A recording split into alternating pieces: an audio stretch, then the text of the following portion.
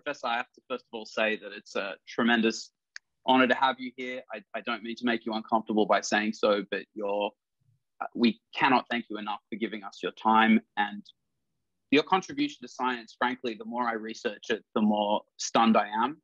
Uh, you know, hopefully that doesn't uh, make, make you blush, but would you be able to briefly explain to our audience what won you the Nobel Prize and, and how it's, um, it's influenced science and medicine? Yeah, this is uh, the stuff discovery that won us the Nobel Prize was done way back in the 1970s. We, uh, we, we, that's me and a young Swiss colleague. I was just in my early 30s and he was a bit younger. Discovered basically how some cells that are basically the hitmen of the immune system work.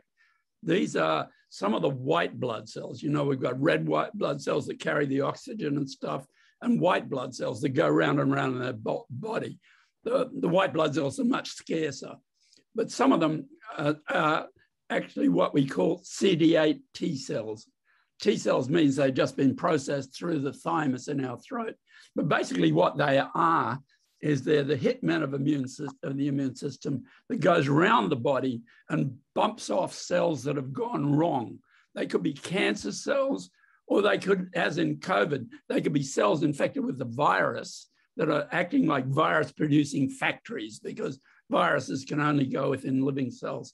So we were working with a virus and we discovered this, how these killer T cells bump off the virus producing factories. And that's what allows us to get better because you have to get rid of those to stop that, those new virus particles from infecting more cells in us. So so they're, uh, they, they kill it in order to save us, so to speak. So uh, it's actually very strange. I'm on a Zoom call with the professor for anyone in the audience. It's very strange having a direct conversation with you because I was watching the recent ABC documentary yesterday. So it's a little bit, yeah, right, it's a little right. bit confronting. Uh, um, that was fun. briefly give us the it was a great documentary, highly recommended. Well, uh, Sonya Pemberton, who made that, is great. And Sonya also has another documentary which you can find on SBS called Jabbed. It was made years ago, so it's not about COVID, but it's about vaccines. And if you're vaccine hesitant and you haven't seen it, take a look at Jabbed. It's on SBS Online. Okay that's in Australia for the foreign audience. Jabbed, you, maybe it's findable online, and the recent one that Prof. Doherty uh, contributed to heavily is Catching COVID, I believe it's called. It's on ABC in Australia, and it will come overseas, I expect. I believe Prof, it may be it may be distributed via a major distributor in North America, probably globally, in fact, but not yet. Yeah. Prof, thank you. Could you please give us the case for? We're going to get to the vaccine hesitancy in a minute, but can you give us the case for vaccinating against COVID, despite whatever risks there may be from the vaccines? Yeah, the, the, yeah. Uh, vaccination, like anything else, is a bit of risk. There's always there's a risk in everything we do, and you know you will have heard about the risk of uh, some horrible blood clots associated with the AstraZeneca vaccine, which can kill somewhere between about one in 200,000 and one in a million people who get that vaccine. Uh, you got to keep in mind that thinking in terms of relative risk, four in 100,000 people die every year in Australia from something to do with a motor vehicle accident. So you've got to keep that relative risk equation in your mind because we take risks all the time. Okay, so the case for vaccination, what vaccination does, it gives you an antibody response. These are the molecules that rush around in the blood, not the killer T cells that I talked about so much, though you can get some of those made. They're antibodies, their molecules rush around in the blood. They're very, very specific for what we call the spike protein of the COVID virus, the SARS CoV 2 virus. They bind onto that spike protein and they stop the virus getting into our cells. And, um, and they're very good at stopping that for any virus that gets into the blood because this virus, COVID 19, gets into the blood. SARS CoV 2 gets into your blood. It's what's called a viremic or a systemic infection, goes around your body. It can infect cells in your heart and your kidneys and your brain and your blood vessel walls. It can cause horrible blood clots. and it kills, uh, and it kills a percentage of people. So basically, the vaccines cause you to make antibodies to that spike protein. The vaccines themselves can't infect anybody else. They, they, all they do is when they're given into your arm, the vaccine gets up into what we call the, the glands under your armpit, what we call the axillary lymph nodes. The vaccine travels up to there and it stimulates an immune response. The vaccine actually can't reproduce itself, unlike the virus, which does reproduce itself, can't reproduce itself, can't infect anybody, and can't actually even infect any more of yours or, or get into any more of your, your cells outside those ones that are in your armpit. And that creates the immune response, which makes the antibody molecules, which float around in your blood, which stop that blood-borne phase of infection and stop you getting really sick. So if you look at the data from the United States right now, where about 70% of people over 18 have been double vaccinated, the people that are dying in the United States of COVID, 99.5% of the people dying from COVID in the United States are unvaccinated. So that's why you want to get vaccinated. Because even when we get to quite high levels of vaccine immune protection, the, the vulnerable are the unvaccinated. They can still get it. And actually, they can still get it from vaccinated people because this virus, though it keeps the virus under control in your blood, it may not control it quite as well up in your nose. So a lot of vaccinated people get a bit of infection. They can even get some symptoms and uh, they can transmit. Not as much as an unvaccinated person, they can still transmit. So if you're unvaccinated, 80% of the people around you are vaccinated, you're not protected. You can still get it. And you can still get it from the vaccinated people uh, who have got a mild infection, even a clinical infection, uh, but not enough to put them in hospital up here in their nose. You've got to get vaccinated. The risk, because this country is going to open up, Australia is going to open up. And of course, if you're in the Netherlands or in the UK or in uh, America, you're, you're fully exposed if you're not vaccinated. Yeah, so Prof, I'm just going to reset the room, as we say on Clubhouse, and, and explain to people that we have Nobel prize winning immunologist Peter Doherty um, with us. He's joining me via Zoom call, and the audio is being patched through to Clubhouse. Um, we are going to try and take questions from the audience in a little bit. What I'm trying to do is get through as many of uh, the FAQs, the frequently asked questions, and the people who are vaccine hesitant as possible, uh, and maybe a couple of my pet questions. But I'm really, if, if Professor Doherty can, I'd like to keep him on for a couple of audience questions if possible. So please do stick around. And I never asked for this, but please feel free to ping your friends in now and bring them in because this is, I think, a critical room. And we are giving voice to the concerns of people who are very, very vaccine hesitant and even people who I regard as uh, anti vax. But I know people don't like that uh, reference. So, uh, Professor, um, this is about concerns. One of the reasons I, I started these rooms, and, and um, I've been apparently I've become something of a of, the I've become the more dominant uh, person starting rooms about vaccines in the last two weeks on this platform. Was I joined a room where there was a lot of misinformation, and also simultaneously I discovered that a couple of my family members, um, my uh, extended but pretty close family members, were very concerned, very very concerned. They're seeing a lot of stuff online that's very very scary, and sometimes it's got elements of truth to it, but it lacks context. so there's so many questions I want to ask you, Prof, and it's almost like Schindler's List, where Oscar Schindler at the end of the movie is, you know, this watch. If I just sold this watch, I want to ask you so many questions. So let's try and address the top ones. mRNA is a new technology. They fear these vaccines were developed in record times. What about long-term effects? Um, I say to them, well, the long-term effects. I mean, you don't know the long-term effects of COVID. Aren't you more scared of the long-term effects of COVID than you are of of the potential effects of the vaccines, which most biologists, most immunologists are saying they can't see why there would be long term effects. It's never emerged in a vaccine before after the sort of two month window after vaccination. Um, okay, and I'll give you a couple more. Um, they're obviously concerned about the adverse events like clotting or heart inflammation. And mm-hmm. then you get into the more anti vax stuff, which I can actually the even stronger, more skeptical, more I would call conspiratorial claims I want to throw at you in a minute to steel man the position you know, the opposite okay. of straw man. Don't want to steel man their position. So could you address at least some of these, the mRNA new technology, okay. the record okay, the time development? One, the first one about the blood clotting issue, the TTS syndrome, as it's called, with AstraZeneca, uh, the adenovirus vectored vaccine. It, it, also happens a bit with the J&J vaccine. I haven't heard about Sputnik, the, the Russian vaccine, which uses similar technology, but one would guess it may happen there a bit as well. So, so this is a horrible condition, and but it's very, very infrequent. It's very rare, and it's um, it's it can be something like one in thirty-three thousand in occurrence in, in say younger women, which are the most susceptible.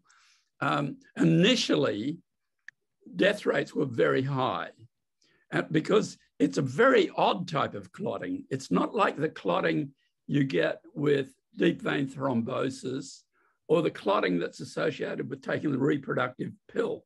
These are at a much higher incidence, but the doctors treat those with heparin, the anticoagulant drug heparin, and that helps people a lot, and people are generally okay.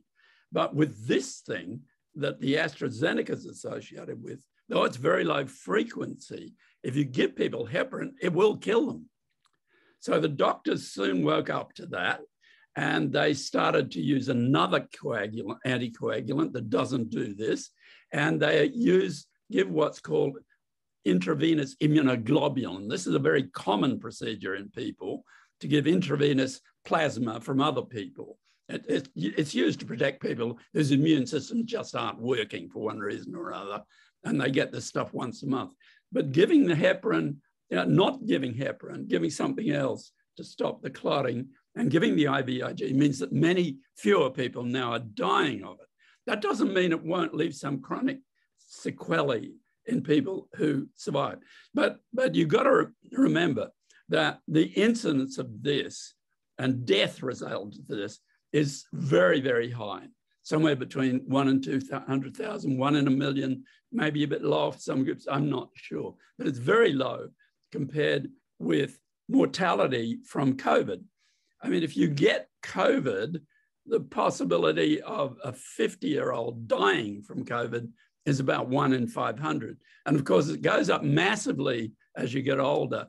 And then now, with this Delta variant circulating in the United States and in other countries, and, and with a lot of people vaccinated, we're seeing relatively more disease in younger people and younger people dying. We just had a 38 year old die in Australia. We've had very little infection here because we kept it out, but we do have an outbreak in Sydney at the moment. And there are a number of younger people uh, from teenagers up currently in hospital, and the same is happening across the planet. So, so basically, that's the risk of AstraZeneca, the risk of COVID. The risk of the Pfizer mRNA vaccines, one of the side effects that's been associated with it is myocarditis. This is inflammation of the heart, particularly in younger males. It, as far as I know, that has been handled pretty well by hospitalizing people. They come out of it and they're okay. But there are these risk factors. Nothing in life is without risk. Crossing a street is not without risk. Nothing is without risk.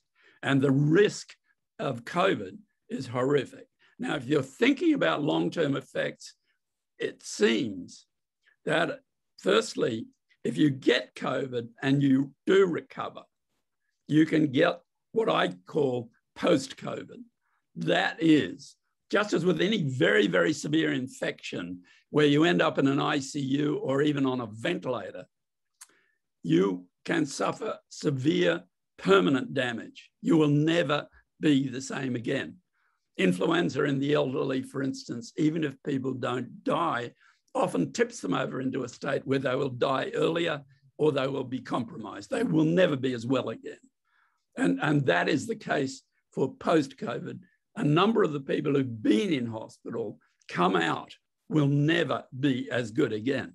But then we've got this other terrible post post COVID or long COVID symptom, where people of any age, any age at all, can have a relatively mild initial infection. Then they develop this chronic fatigue, chronic uh, pain, headaches, all sorts of stuff. And, and that can go on for months. Now, some, the figures vary greatly on this, and I'm not totally sure of incidence, and I can't get solid figures on the extent to which um, vaccination protects. But basically, at least something like 30% of people can have a bit of this, 10% pretty persistent, and maybe 1% are having really long, long term problems with this. And we have no idea this, where this will go in the long term. So when you say, well, we've never given mRNA vaccines before, let's talk about that. Okay.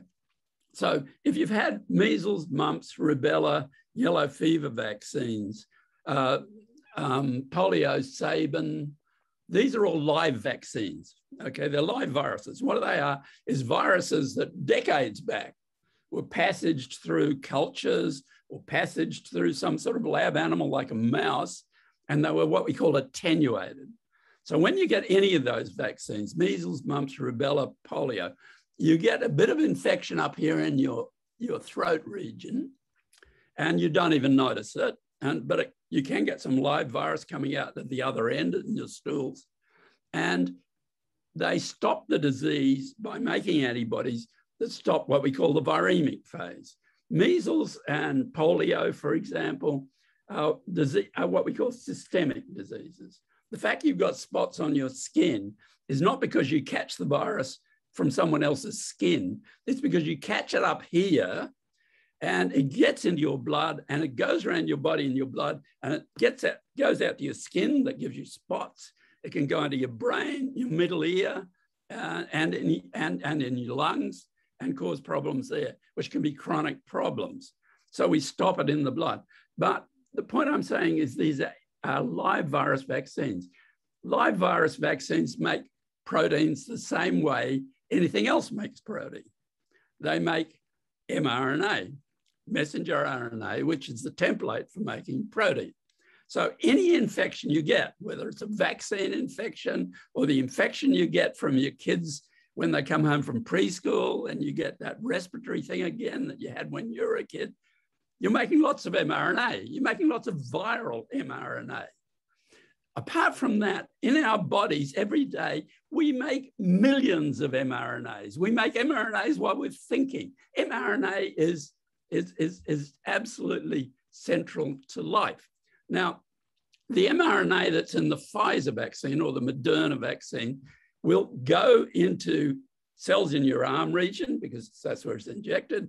It might get into some of your muscle cells and it'll stay there. And you might get a bit of the reaction you might get later might be due to uh, our immune cells attacking those cells. But it will principally go into a cell we call the dendritic cell, the mRNA will, and that they will carry the mRNA into our lymph nodes in here, and that's where our immune response will kick off. Now, that will lead to making the protein, the virus spike protein, that, that, that the, the one protein from COV2 that is in the vaccine, just one protein. It can't be infectious. They can't infect anyone else. And it can't even infect more cells in us it'll go through what we call a one-step growth cycle in our own cells. Now, people have found a little bit, some of that, a little bit of that mRNA maybe in the blood, maybe it, uh, maybe it does circulate a bit. It would be very small amounts and it would be taken out pretty quickly. But basically, it's nothing mysterious about mRNA you don't live without mRNA. There's no life without mRNA. You can't eat anything that doesn't have nucleic acids or DNA in it. Uh, the, the, AstraZeneca vaccine actually carries in the viral DNA for the spike protein. That DNA goes to the nucleus. It then makes mRNA, and then it comes out in the cytoplasm. The mRNA in the Pfizer vaccine doesn't ever get into the nucleus of the cell where the, the genetic material is. It's in the cytoplasm, in the outside the nucleus. Prof, thank you. I know that you have you might have till half past the hour for us. If we have that, then we I can figure out how we can do this. No, no, I can keep I can keep on. It's fine. We can go for an hour. If you want. We'll take you for three hours if you. No, not for three hours. It's Schindler's List, man.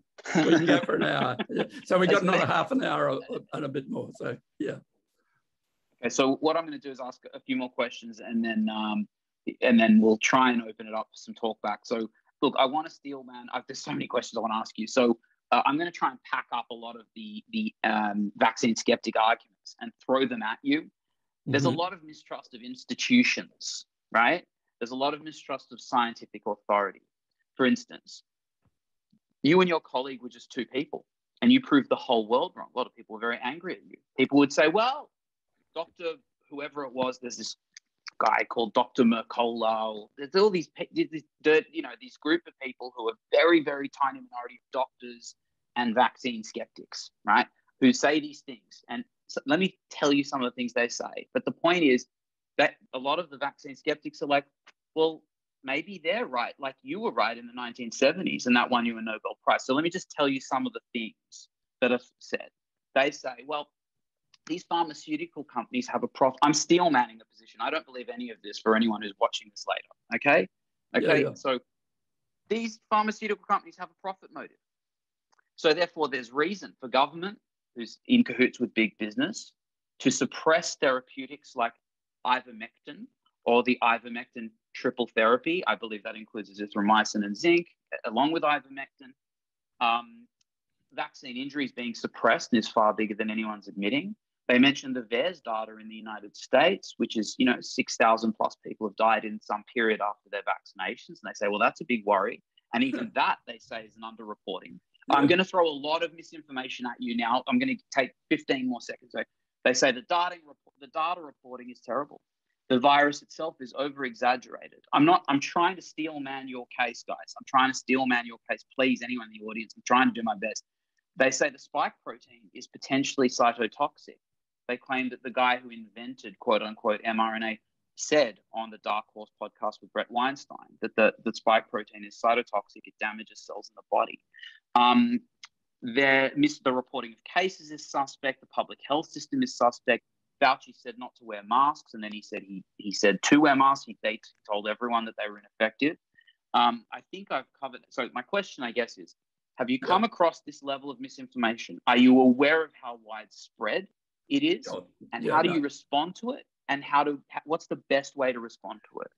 I, I I'm on Twitter, so I do come across all this, and I try to respond uh, respectfully unless people are abusive. I mean, if people are abusive, I'll block them immediately because I can't, I can't um, be expected to deal with that. But if people are, are, are say, yes, I have this concern, or, or I, I'm told that. I mean, for instance, one person got in touch and said, why are we protecting a, against a virus that's um, that 98% of people will survive? Well, well, he was quite wrong it's not 2% of people who die from COVID. It's actually more like 0.3 or 0.5% or 0.8% at most. So he had actually the number far too high.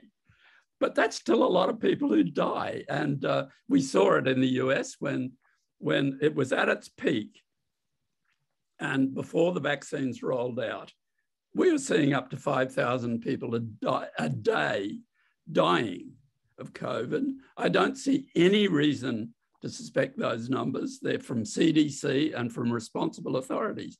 These are professional authorities. They're not, they're not answering to government in a way that government wants them to answer. They're professional people who that's been set, their, their monitoring system has been set up forever. So you can be suspicious of government if you like, but uh, I'd be infinitely more suspicious of people who put out conspiracy theories on the internet. But anyway, okay, so that there's that it, it is a lethal disease. It, it's killing, I think, and it depends on how good a medical system is. In the medical systems in the United States, if your ICU beds are not overwhelmed, I doubt uh, that if you go through all the age groups in unvaccinated people, it'd be killing more than certainly less than 1% of the people it infects. The numbers looked higher earlier because case numbers were just being defined by clinical, whereas now we define them by the PCR test, which we've never done this before with any infection tested so widely or so in so much depth. So it's less than 1% of people will die if they're unvaccinated. And, um, but another 1% at least will, I think, be severely compromised by long COVID or post COVID or something else. So that's quite a lot of people if you take a country the size of the US or Europe or whatever. Now, the argument that um, we can't trust the vaccine companies, well, folks, you may have missed your, your, your, your attention, but we live in a capitalist society. This is the way it works. People make products and they, they make a profit from them. Now, AstraZeneca has actually said that the vaccine is going out there at no profit to them. Pfizer are clearly making a profit from it. But that's capitalism. If you want a vaccine developed under a communist totalitarian state, uh, you have to go elsewhere. Uh, and in fact, uh, under a more authoritarian regime, we've got the Sinovac and Sinopharm vaccines made by, by China, which don't look to be nearly as good as the ones we have in the West, which are, are really terrific vaccines, actually. So you just got to live with that fact that this is the way our society works. And when we go and vote, that's what we vote for. We're not voting for a communist state centrally controlled by people who command that you will make this or you will not make that. That's not the way our society works, and thank goodness for that. So, profit, yeah, sure. All right. Is anyone making money out of this? I'm certainly not making money out of it by uh, uh, the drug companies are. That's all. Yeah. I'm very conscious of our time. I'm going to try and do a couple of rapid fires. Um, so, what? Um, uh, okay, so if you've had two shots of Astra of either that, you and I have both had two shots of the AstraZeneca, or if right. you've had two shots of the mRNA, the Pfizer or Moderna, what precautions should you be taking, whether you're in Sydney or London or, or New York? And what precautions should someone who's unvaccinated be taking? And let's try and keep it brief because I want to rapid fire a couple. Okay. Okay. So, so basically, firstly, you should look at what the public health people are saying.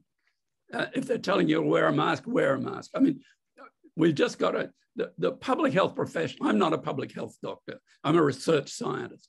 So the public health people are trying to, trying to range, arrive at something that protects people, and particularly the unvaccinated people. So if they say wear a mask, wear a mask. Personally, if I was in the UK and um, double vaccinated, a lot of virus circulating, I've had two shots of AstraZeneca. My susceptibility is reduced from that of an 80 year old, which I am, to that of a 50 year old. So I can still catch this thing and die, but I'm much less likely to. So I would be wearing a mask and I would be staying away from bars and nightclubs. But at 80 year olds, you tend to stay away from bars and nightclubs anyway. It's not my scene. So do what the, do what the public health believe, people are saying. Professor, when I look at you, I find that hard to believe. True. You're a bar hopper. Um, okay, thank you. Uh, long, uh, long haul COVID. How scary and how protective are the vaccines? and what might treatment I mean, look like? I find it very scary. I mean, you know, my personal position, I mean, I know that people who are hesitant about vaccines don't want this foreign stuff put into their bodies. I, I, I understand that, that people feel like that, and especially about it being injected. But I can tell you, I'm a hell of a lot more scared about COVID 19, SARS CoV 2 being in my body because it multiplies, it divides, it produces billions of copies of itself, it infects cells all over the body. I, do, I don't want any of that. Okay, so we know the vaccines don't protect totally against infection up here. Easy to keep antibody levels high in the blood, very hard to keep antibody levels high up here. Antibodies are molecules, virus particles are tiny particles. They have no motor, they don't move themselves around, just random chance where they bump into each other. In the blood, there's a lot more, they take it out. Okay, so so vaccinated people still get some infection. They can still transmit to some extent. They can still develop symptoms, but in 99%, those 90%, those symptoms won't be bad enough to cause you to go to hospital. Okay, so um, so um, long COVID. I'm trying to get numbers, good numbers, on how much vaccines protect against people developing long COVID. And it's quite difficult it's difficult because you know it's long, and so we're, we're waiting to look at these series, and, and there's a lot of confusion. A lot of the a lot of the reporting is self-reporting, um, and a lot of it is, uh, it, it, and it's not what I've seen is not very clearly expressed. Uh, someone said it decrease vaccination decreases the possibility 30%. What are they talking about? 30% in clinical cases, 30% against what? So I'm waiting for good data from reliable sources. I'm, I'm sure vaccination gives you a pretty good level of protection. How absolute is that? I don't know. And how it would influence the duration of any long COVID symptoms, I don't know. It's like a lot of things with COVID. We've just got to wait and find out. Yeah, I was looking forward to my uh, to waiting for my Novavax booster because I'm most concerned about long COVID. Uh, I was hoping that Gladys yeah. Berejiklian would keep it COVID zero until then. I don't want to get into policy because I know there's differences on suppression and and and, and elimination, and, and we've got a global audience. There's hundreds of people in the room. Uh, we've got a Nobel Prize winning um, immunologist Peter Doherty with us. Um, what does 22 look like at this point? If we're if we're well vaccinated, what does opening up look like? What does the long term look like? And let's try and keep it brief because there's a lot of questions. Yeah, it's really it's, it's it's it's two different scenarios. One, if we stay with the present situation where Delta is dominating. Uh, and the vaccines are handling that pretty well, though the virus has changed a bit. I reckon by Australia, in Australia, for instance, everyone who wants to get a vaccine and two shots of a vaccine should be able to get it by the end of this year or very early next year. So that's when politicians are thinking about opening up. I'm not a policy person. I don't get don't get into that. So basically, I think by 2022 we'll be in. I hope we'll have at least 80% of people vaccinated, and and we'll be in pretty good shape. We're the possibility of opening up or or at least stopping these local lockdowns that we're experiencing at the moment. Now, I think if we're at that stage by the end of 22 and the virus doesn't develop what we call an, an immune escape mutant, and it's showing no signs of that at the moment, and I'm wondering if it will because the mutation rates in this virus are very, very low compared with, say, an influenza or HIV we may not see immune escape variants. If we don't see immune escape variants, I think we'll be in a totally different situation by the end of 2022.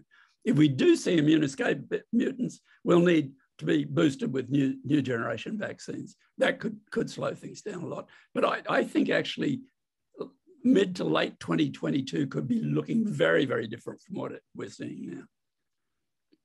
From your mouth to the deity's ear, Professor. Um, I'm being back channeled uh, by some very vaccine hesitant people. Can you hear mm-hmm. me, Professor? Okay.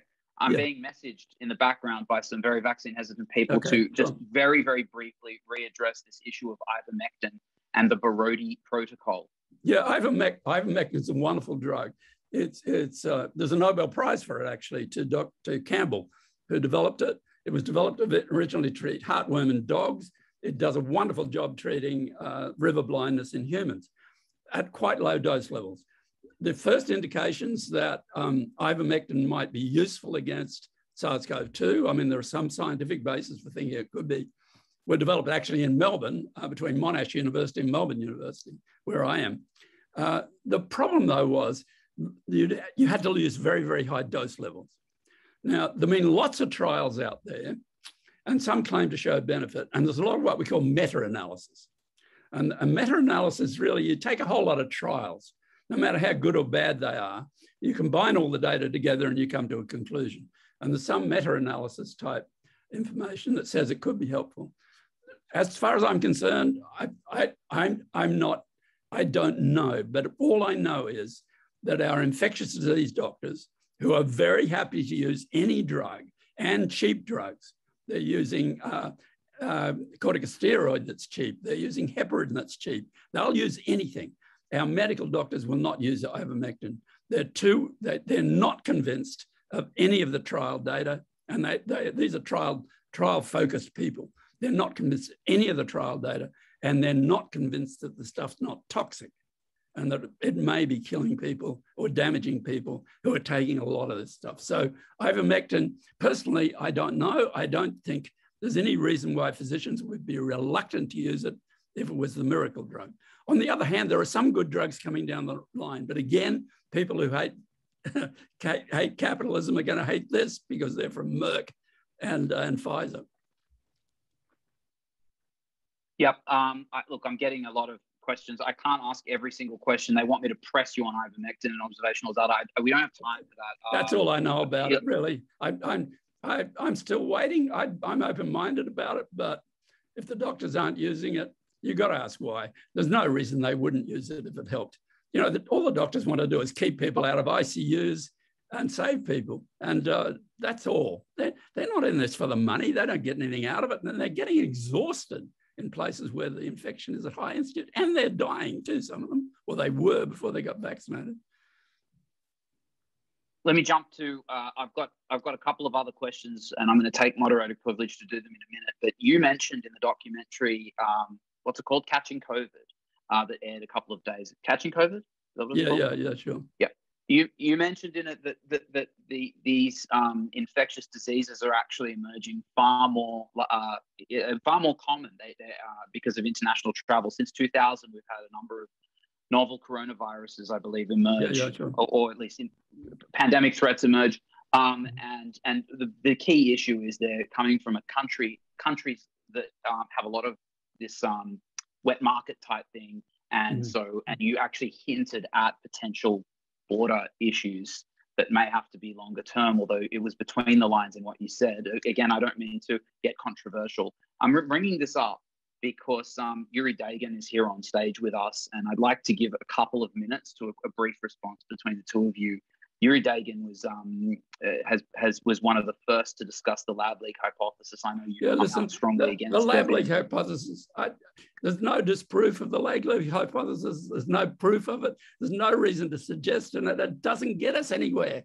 I mean, if it if it came out, if it was a virus that was isolated and went into a lab and escaped, or a virus that came out of nature, what the hell? It doesn't make any difference to the way we handle this infection, how we get out of it, or how we deal with the next one. So I, I, really don't want to discuss it. It's a waste of space and a waste of time. And what it's saying, no, that's is, fine. What it's saying is be suspicious of the virologists, hate the scientists. They're dangerous. This is crap, and I'm really annoyed by it. It's a waste of time. I could take a hint, Professor. Well, it's uh, important to prevent the next pandemic if this one was caused by gain of function and some virologists could be lying very well. Uh, uh, and, uh, Yuri, uh, claim that it's, know, it's, a useless Yuri, argument. Yuri, we know that we know that the SARS-CoV-1 came out through a wet market. We know that.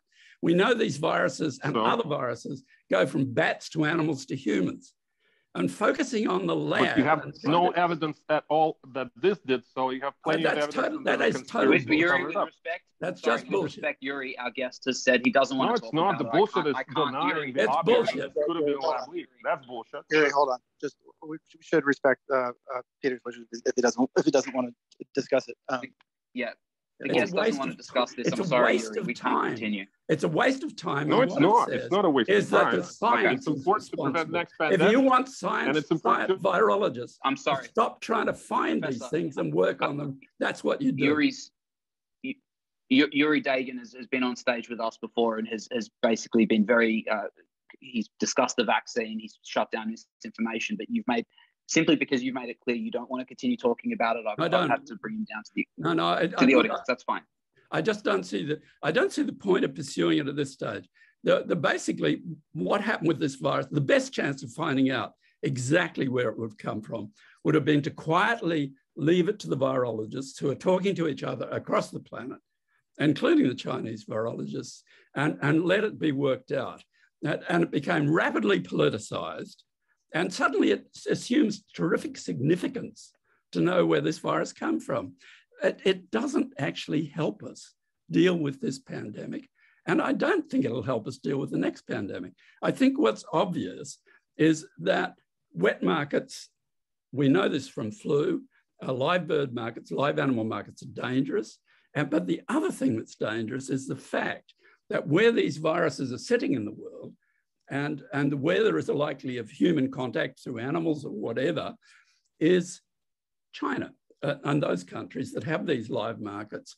And the numbers of passenger air flights out of those countries have increased massively. So whereas before 2000, we had two of these things circulating in humans, we, we've had five new ones, maybe one that was there before we missed, but we missed. So we have four at least new ones circulating in the human population since 2000. What's really dangerous is international air travel. So if I was going to fault the Chinese on this, I'd say their really major fault was not being open enough right at the beginning and in continuing international flights out of their country.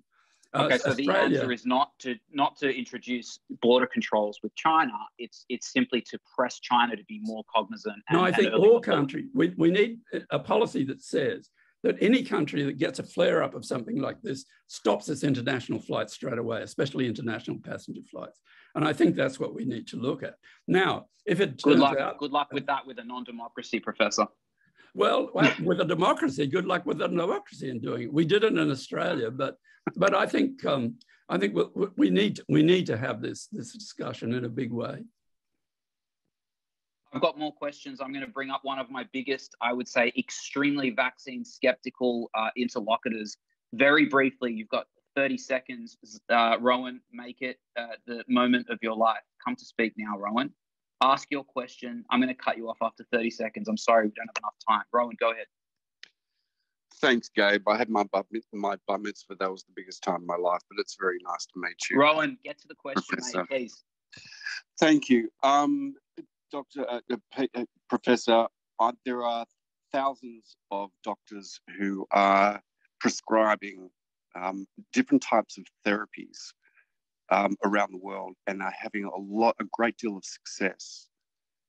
Um, there are people on who are either pro-vaccine. There are also people who are who are anti-vaccine, but there are also a lot of people who are vaccine hesitant. Briefly, Ron. Thanks, Gabe. I don't see this as, and a number of people don't see this as a binary issue. Wondering how what your perspective is on this. Thank you. Thank you, yeah, Rowan. Look, um, Appreciate um, it.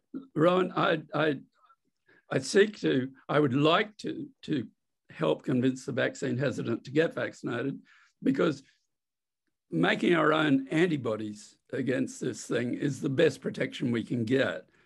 And it's, it's working because vaccinated people are not in the main dying of COVID.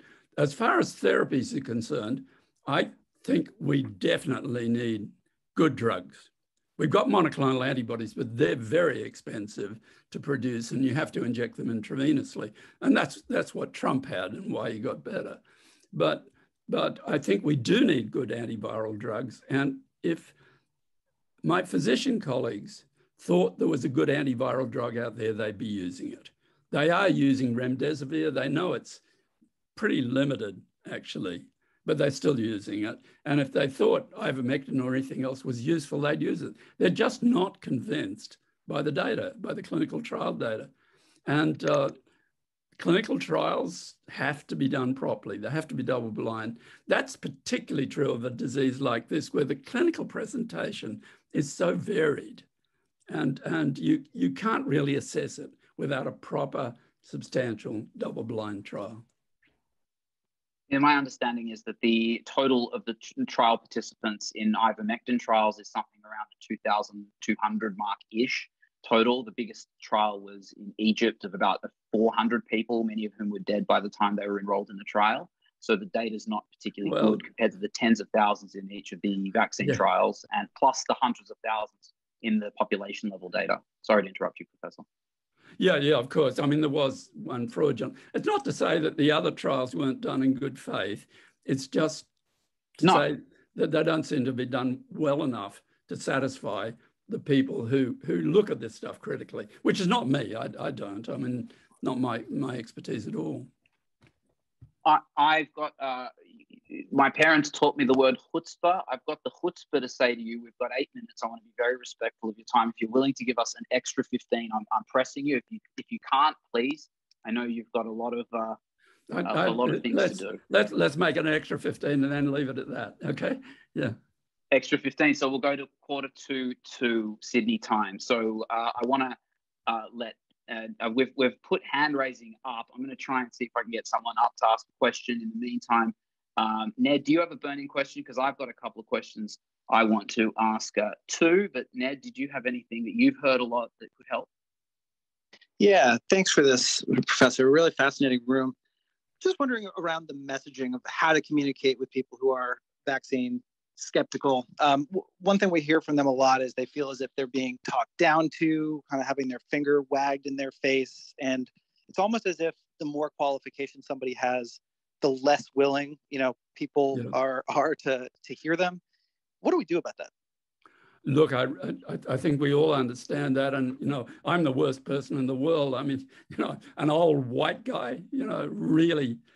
Uh, and I understand that very, very much. And I, I think um, a lot of the vaccine hesitancy, firstly, I mean, trying to, to engage with people who, who have more contact with people in this.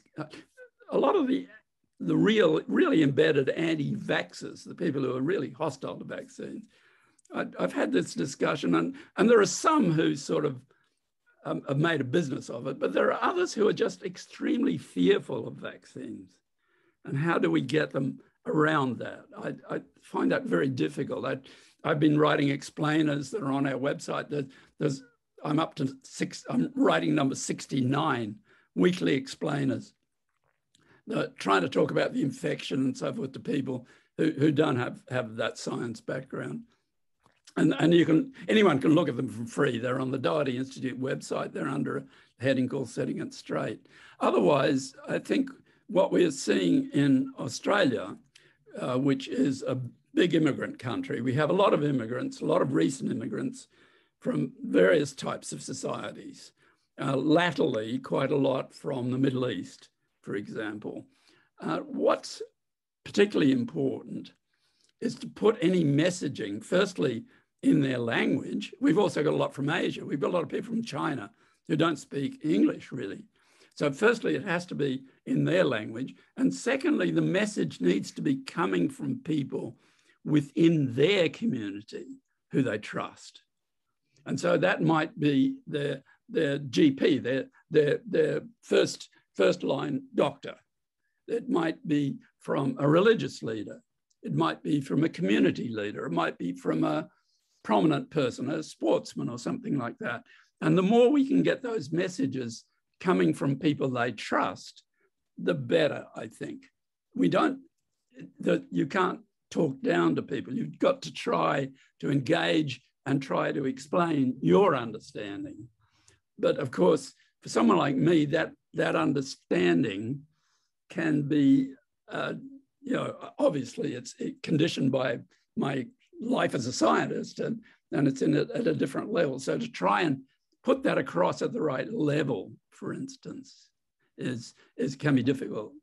I, I keep, keep trying to think of analogies and writing weird stuff. At the moment, I think, you know, if you're thinking about immune escape mutants, all the viruses that have emerged so far up to Delta. It's like a foot race. It's just that Delta runs faster than all the rest. But if you think of a, a escaping from immunity, think of the flat racer now having to become a hurdler. And, and can he move as fast and can he spread as much, if you like? So, so I, I try to play with this, try to find wording that will get across to people. But I, I think really influential people within the community are enormously important. We, we learned that lesson from AIDS, actually, right at the beginning. And, and I think lab scientists like me, who lab used to be somewhat um, skeptical about the social sciences, really realized how important the social sciences and communication actually are.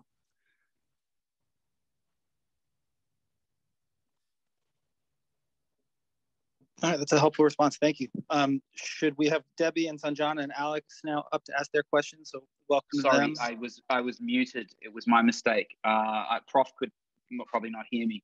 Um, one moment. So uh, I, I wanted to uh, just say to Prof that uh, you know I, I, pressed you hard before. If you do have to leave, please feel free to say no. Uh, you have to leave in three minutes. But if we've got the extra fifteen, we're going to go to my cousin Debbie's up here. Um, and I'd like to briefly, uh, do you have any questions or concerns, Debbie, that uh, that remain unanswered by the professor?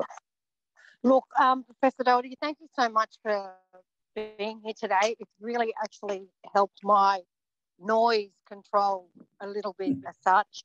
I have a question. I'm due to get my mum vaccinated tomorrow morning. She's got COPD, uh, all sorts of health issues. She's on an oxygen machine at the moment, just getting over bronchitis diabetic, high blood pressure, cholesterol, you name it, she's got it. Oh well. Um, she, I know it's it's horrendous. She's due to get AstraZeneca tomorrow. She's she's already on um, some type of um, blood thinner. My only fear is that she's not actually going to make the vaccine. I mean, I don't know how to explain it, but let's I- just I know, God yeah. forbid, do you know? Sorry, go ahead. Yeah, yeah, I know, I know what you're saying. I mean, you know, is she going to make an immune response? That's the question. Is she well enough Yeah. to make an immune response? Is it going to be affect her negatively? On, you know, the only thing I can say there is, you know, obviously you need to be talking with her doctor as well, and and and getting Yeah. that advice. The other thing I've just been writing about this actually for my weekly essay is uh, when when we open up, how do we protect those people who can't make an immune response? Now we do that all the time for people who may be on cancer treatment that's killing off their immune system temporarily, or people, particularly older people, whose immune systems just don't work anymore. And what we do is we give them a product in Australia. It's called Intragam. Uh, It's actually plasma, blood serum antibodies from other people. And that you, I think they get that once a month through a tube into their arm. And of course, at the moment, most Australians, because we haven't had much COVID, won't have antibodies to COVID 2. And so that wouldn't be protective. But the more and more people get vaccinated, uh, people that are totally immunocompromised will presumably be getting Intragam that has antibody to COV 2 in it. But, um, but it's, it's, a, it's a real issue for that very vulnerable uh, elderly group. Okay. Uh, any quick follow up, Deb, or can we? Because we got we got really really pressed for time. I I moved you down to the audience. You've got to accept the invitation. Okay. So, well, while she's if she wants to come back up and ask, did you have anything else, Yeah, Deb? I, I real quick? basically just wanted to say thank you. And would you would you still recommend her getting vaccinated? Again, Deb, I, I think that that recommendation should look- with her primary carer. But Right. yes, I, I think I think it's worth it's worth trying as long as her her primary physician thinks it's okay and she, she is going to be safe. That's a good reminder that we everything here is not medical advice. None of what is being said in this room is medical advice. And and by the way, to any questioner, we are recording this Q and A part of the. Uh, I should have mentioned this before, but I know that Yuri and uh, my Yeah. cousin are fine with it. But uh, I- I- we, we are recording. I owe Yuri an apology for going over the top. I've, I've been dealing with this vaccine origin thing for so long, and our Prime Minister has cost us billions of dollars in trade by going after this with the Chinese. And I just don't see it gets us anywhere. Well, Yuri- so apologies, Yuri. Yuri's in the audience, and I don't think he took it personally. Thank you for saying that, Prof. Okay. Um, again, there's so many more questions. I'm going to ask one about fertility. I'm being asked in the back channels by message. Fertility. People are concerned about Yes, the mRNA yes, I- vaccine. I- you can very briefly respond to that. I, I recently became aware of this. I, I didn't know that was a major concern. And over the last month or so, I've become very aware of it. So I've been trying to find out. I've, I've been looking into the literature and, and also I, using Twitter, asking for people to give me feedback. I, I, I just don't see the evidence for there being any effect on fertility, fertility or reproduction. But I, I, I will say this. Firstly, um, some people worry about the vaccine somehow getting into the ovary. Well, for a start, if we even find a little bit, we can find a little bit of spike protein in blood after vaccination, I believe, at, at picogram quantities, really, really minute quantities. Now, you're asking that to get selectively into the ovary, and then you're asking it to get to the oocyte, the egg. Now, basically, every girl, when she's born, has all the oocytes, all the eggs she's ever going to have, unlike the male who makes sperm all the time. So she's got all the oocytes she's ever going to have. I think by reproductive age, I, this is not my field, but I think they're down to about 25%. She's lost a lot of them. And those oocytes have ACE2 on their surface, which is the receptor for COV2. So if you're unvaccinated, a young woman, you get infected, not only have you got the chance of developing long COVID, which would debilitate you horribly, you also have the possibility that that virus might get into your oocytes and kill some of them off. So I can't find any evidence that makes any sense. And I've, I've been talking with gynecologists on across on Twitter actually, who've been looking at this. They can't find any evidence that makes any sense why it should impact on fertility. What is clear though, that as COVID infection can impact seriously on your health, that if you get infected while you're pregnant and you get this blood clotting problem, you'll become anoxic, which means the possibility of anoxia for your fetus. So the advice is this, I think, that if you're you're young and not pregnant, get vaccinated as soon as you can if you're thinking of having a child. So you've got good antibody levels to protect you and the fetus. Uh, yesterday, I think we had one of our senior medical doctors on our public health team in Victoria, Australia, who's a pregnant, a heavily pregnant woman uh, getting the vaccine because she said, this is something I have to do to protect me and the baby. And if you're a guy and you're worried about it affecting your sperm, uh, I think worry a lot more about getting long COVID. Thank you so much, Prof. Uh, we've got uh, nine more minutes. Uh, we've got 11 more minutes with you. So uh, we've got time for Sanjana, and I've got a couple of uh, quick rapid fire questions. Sanjana, would you briefly uh, ask your question? Sanjana's a bit of a clubhouse star, and she's um, a bit of an expert on consciousness, if I may say. Okay. Go ahead, Sanjana. Thank, thank you, Gabe. Hello, Peter. Um, I, I, I highly respect you for the work you've done.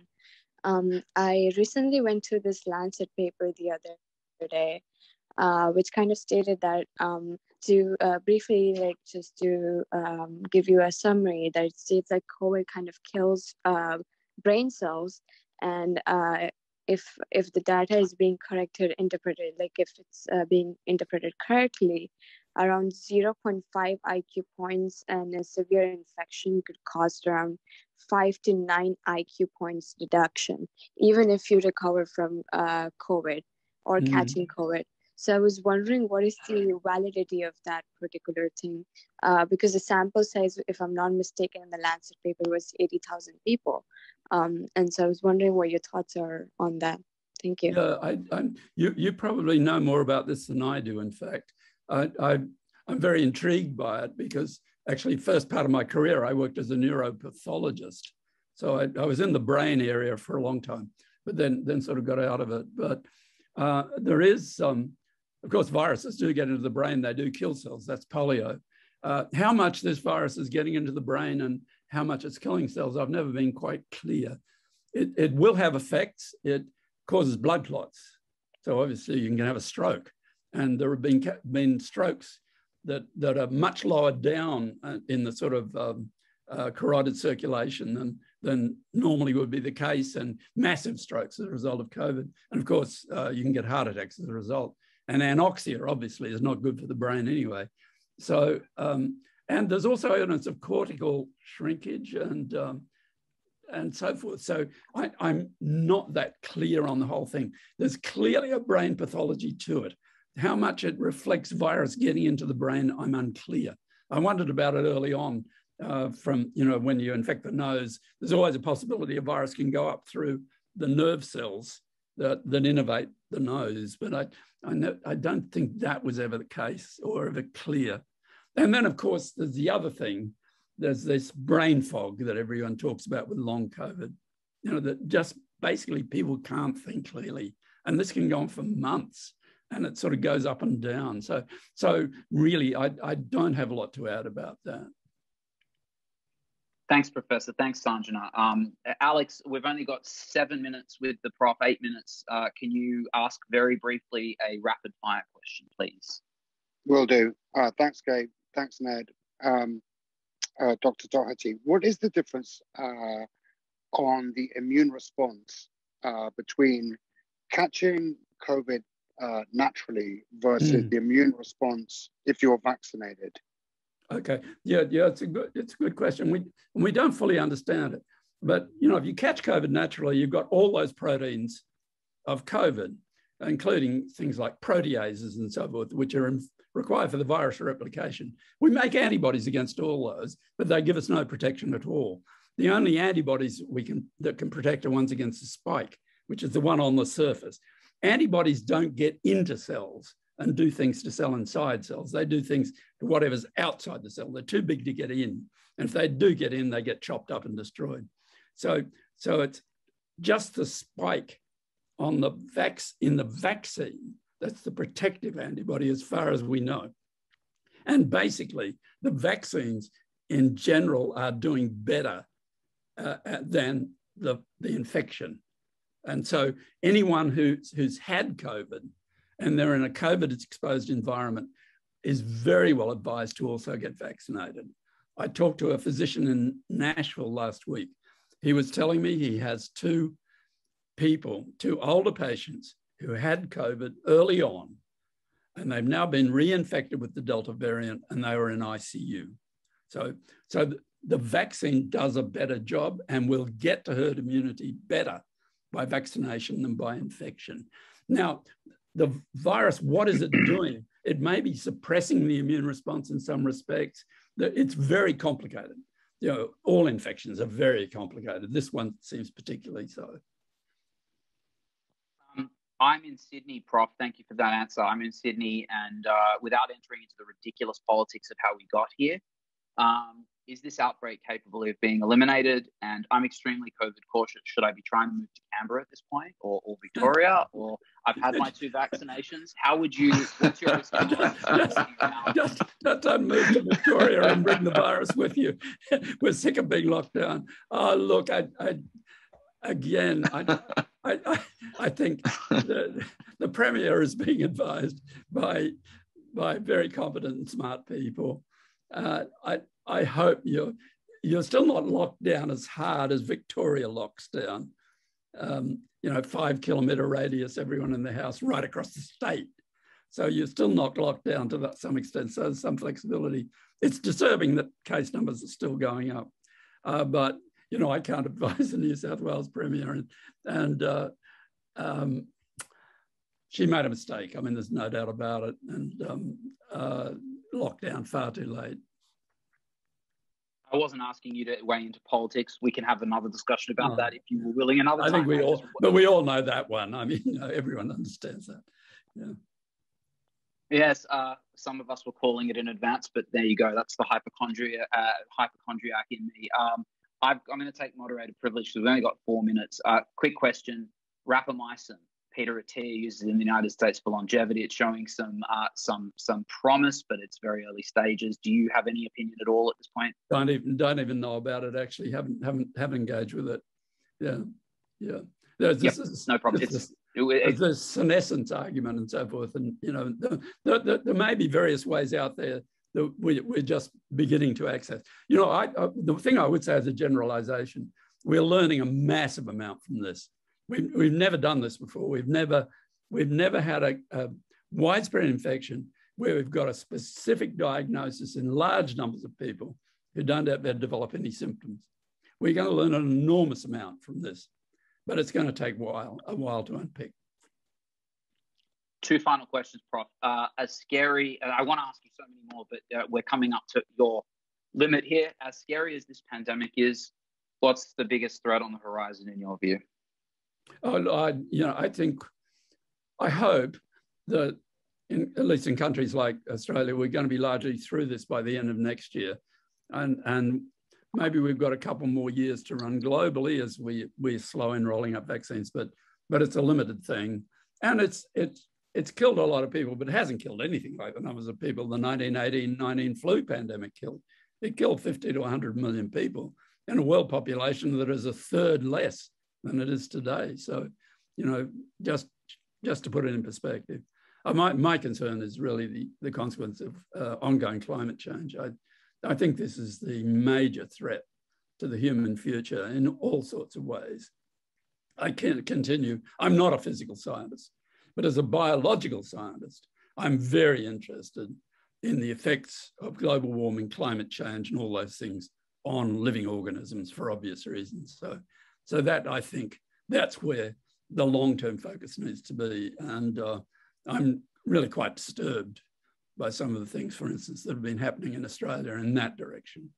And uh, you know, I, on the one hand, I, uh, in Twitter, I support the government absolutely on, on the COVID program. I'm constantly attacking them on climate change. Yeah, good. Prof, thank you so much for that. Okay, well, I have two two final questions, and we've got two minutes, so that's good. So, one is you were so sweet crediting your wife with basically your entire career on the hmm. program the other day. Did you want to say a few words about uh, about that, about your personal life, and about how wonderful your wife has been in supporting and, and even maybe causing your career in some ways? Yeah, I you know we've been married for a very long time, and it's my first marriage, so to speak. So, so basically, uh, yeah, a loyal companion and a great friend, and uh, and so that's that's you know, marriages work out differently for different people. That's the way it worked out for me. But um, but it's um, it, it's if you're going to be a research scientist, which is a pretty rackety life in a way because we live off our wits, and that's a demanding way to live um, it's great to have stability in your home situation. That, that's certainly a big plus. And of course, the other, among my colleagues, I mean, my wife and I don't work together in science, but among my colleagues, uh, she helps a lot because she has some science background, but we don't, we've never run a lab or anything like that. But, uh, but uh, among my colleagues, there are some great husband and wife teams that are really tremendously powerful over the years. You, you may have convinced me not to stay a lifelong bachelor. So we'll see how that goes. I'll update you. Uh, Prof, final question, and then I'll thank you and we'll wrap up. Uh, we're literally on the hour. So, uh, what book would you recommend my book club read next month? Oh, I mean, there's a wonderful book being published next next week called "An Insider's Plague Year" by me. you could read that. Um, I should have clarified. You can't pick your own books. okay. Look, I one of the one of the downsides of this whole thing is I've always read a lot all my life. I just haven't been reading at all.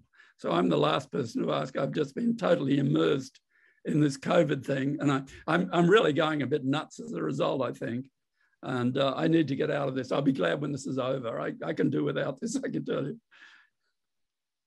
Well, good. So by default, you could go back and read, read, selected... reread War and Peace. That that's always good.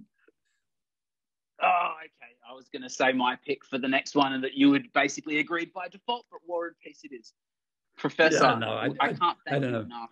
There are, there are the great classics out there, I, but I just haven't been reading much in literature lately. I'd like to read the latest Richard Flanagan book about uh, the salmon fisheries and in southern Tasmania. I think Richard Flanagan's a terrific writer.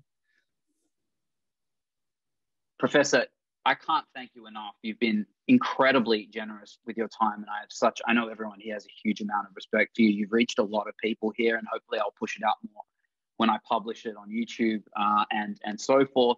But thank you so so very much. There's too much misinformation out there, and not nearly enough Peter Doherty's. So yeah, feel, thank you. Feel, feel free to edit out the bit with Yuri where I where I lost it. so, okay. Yeah, nice to chat. Now, we're talk all, to your assistant about it. Yeah, all good faith actors here, and I, I, just want to mention one one message I got from a friend who's been listening the whole time. Professor, he just said this guy is doing the Lord's work right now.